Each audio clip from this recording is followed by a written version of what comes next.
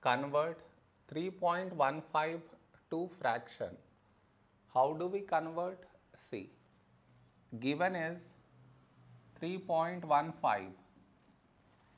First we should break this into 3 plus 0.15.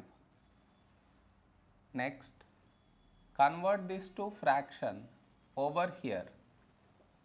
So 0.15.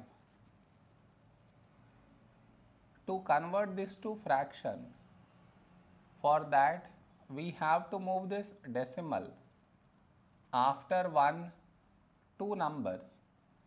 To move this decimal after two numbers, for that multiply it with 100. Whatever you are multiplying in the numerator, in the denominator also do the same. Next, 0.15 into 100, 15. 1 into 100, 100. Now I cancel with 5.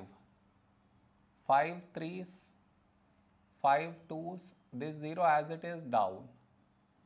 So the fraction we got is 3 by 20. Now here 3 plus in place of 0.15 now we write this fraction 3 by 20. 3 plus 3 by 20.